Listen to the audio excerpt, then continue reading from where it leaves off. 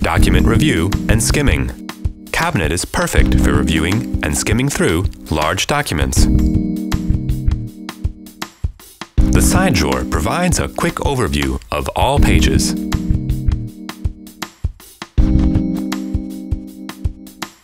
You can drag the scroll bar to quickly browse through hundreds of pages. You can use the scroll bar without revealing the full side drawer. Just tap to see the main menu with the scroll bar on the left and begin dragging it. An indicator with a page number will allow you to position the page you want precisely. The side drawer also has a number of tabs to view only a defined subset of pages. Tap on the Annotated tab to quickly review only the pages you left annotations on. The Bookmark tab shows only the bookmarked pages.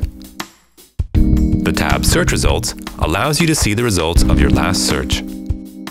Also notice that the scroll bar color changes correspondingly to the tab you have currently selected.